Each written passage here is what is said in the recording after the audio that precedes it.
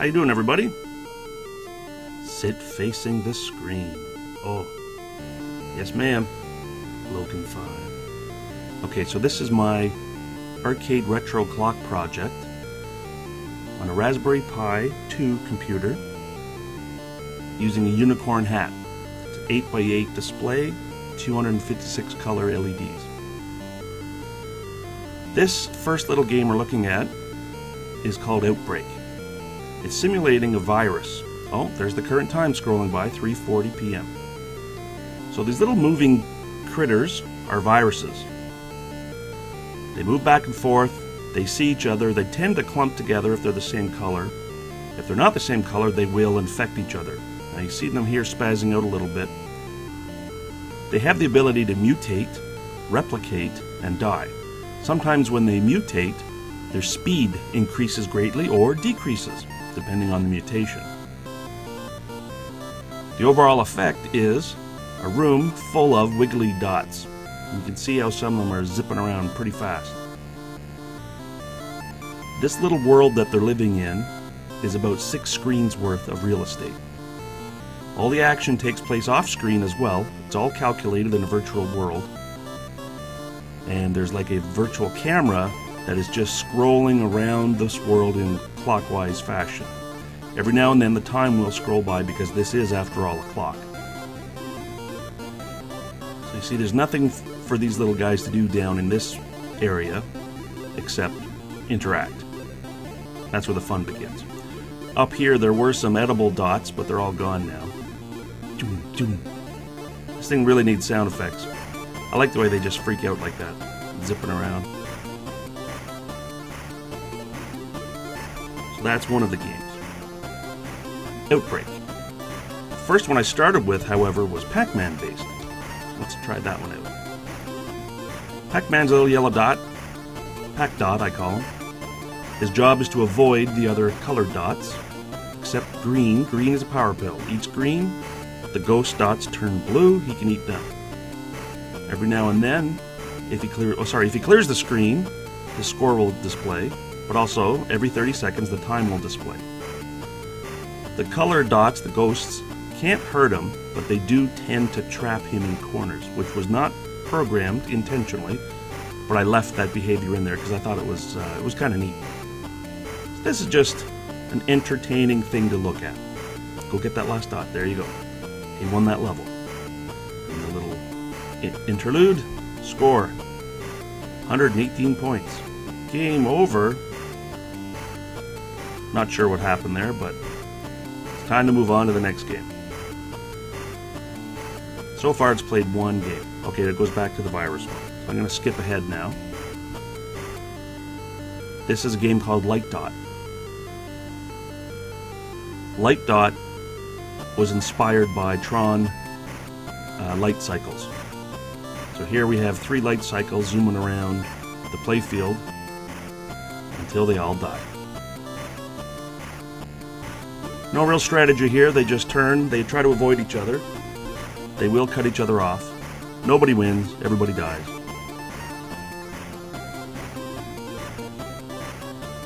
There you go.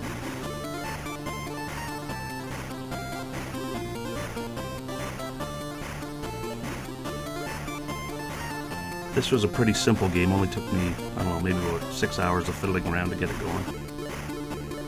Skip ahead to the next one.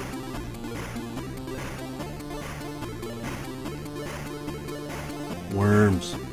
So this is based on snakes or nibbler. This one has some pretty cool interludes. Bunch of worms running, followed by the time. So there's three colored worms. They start out two dots each. They can't eat the white dots, they bounce off it. The green dots they can eat, it tends to slow them down. The red dots make them speed up significantly. So after a while, they'll get big enough to be able to cut each other off.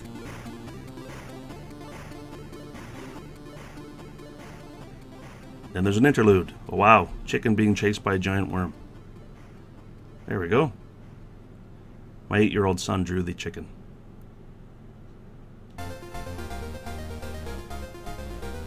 So in order to make these games, I basically sat down and decided to reinvent the wheel. I wasn't going to look up anyone else's code or anything. I just figured out how do I draw a dot and what do I do with that. And then I built structures, arrays, started building, uh, drawing with ones and zeros. Then I basically came out with animated full color sprites that could move, and that's where you see the chicken and the worm. It's pretty easy to draw. Let's go to the next game. Space Dot. Space Dot. And there's the big Star Destroyer chasing Princess Leia. Possibly. So this game is based on Astro Smash, or it was inspired by Astro Smash from the Intellivision. So you got the lone human on the bottom of the planet, and you have rocks falling from the sky, spaceships zipping back and forth that slowly come to the bottom. The blue dot there, the human player, is programmed to avoid missiles yet shoot aliens. Sometimes he wins, sometimes he doesn't. It's pretty good. We got the three ships flying by, dragging the time behind them as an interlude. The green ship detonates. If it gets hit too many times, it blows up, and it will nuke anything around it. That's the mothership. So if you hit it, it starts flashing red and starts dropping bombs. It has three basically hit points. Wow, that was a fast asteroid. Orange asteroids fall usually at a normal rate. I'm not sure why these ones are going so fast. It's pretty, uh, pretty intense. Let's move on to the next game. Dot Zerk. This is inspired off of the arcade game Berserk. So this particular game has 64 rooms in it. There's a human, the green dot, being chased by the red dots, robots. Their job is to exterminate the human, his job is to simply flee. Here's a cutscene robot running, bringing the time behind him. So the rooms are quite small. I have a border around them, so that really doesn't leave a whole lot of room.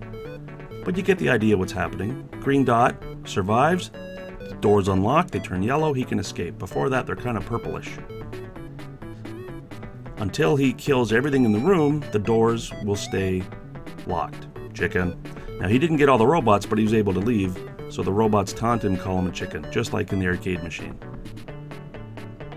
There's different cutscenes in this game. Kaboom, he died. So it starts the room over.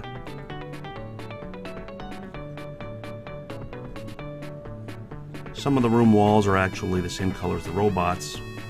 Makes it a little bit difficult to see well, but if he takes too long, a yellow robot comes out, that's Bob, and he has to kill Bob. If, if he runs, then he gets called a chicken.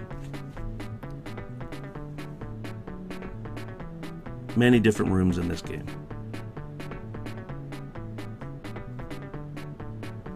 Let's move on to the next. What do we have here? Dot Invaders.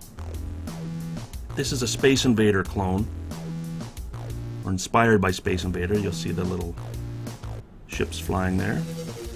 Okay, this is a cutscene. Drops the human off, human's gonna battle. It has shields, there's the Armada. Well, every 30 seconds the time will scroll by. So here you see the time again.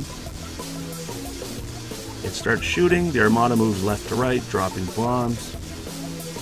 If a bomb hits the player, he loses a life. If it hits the shield, the shield dies. You just saw a mothership go by. As the ships get fewer and fewer, they speed up, just like Space Invaders. Funny thing about this, I was programming the little human certain rules. I did not intentionally make it do this, but it tends to move over to the right and start blasting, just like I would in real life. When I play Space Invaders, that's how I play. So I thought that was pretty cool. Space Invaders. Let's see if we can get these. And there's a purple mothership flying by, worth extra points. And he got it, so he gets rescued. Ship comes, pulls him away. New level. Okay, let's go to the next game.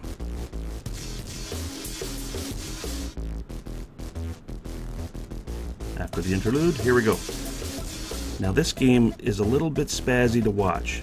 The dot right in the very middle of the screen doesn't move, the screen moves around it. This is Rally Dot, based on Rally X. Now these little red guys, they don't crash into him and he blows up. What they what they almost do, they they kind of rub up against him to trap him, but then they start drinking away some of the fuel. If he runs out of fuel, he dies. So this isn't really the same as Rally X, it's just inspired by it. Completely customizable, however many uh, red ships or red cars are on the playfield. It's easy to draw new levels. I think I have four or five done. Yellow dots are the fuel dots, so he picks those up, he gains more fuel, and he goes a little bit faster. Each vehicle has radar, so they can tell what the closest dot is next to them. The player car knows where the closest yellow dot is, and it can start directing itself towards that dot. The red dots know how far away the human is within a certain range. I think their range is like five diagonal pixels they can see. They don't move very fast. I'm still fine tuning all the variables. And sometimes the car gets stuck going in little circles around things. So here he's trapped. The red cars will detonate and they will take out anything around them, including the player.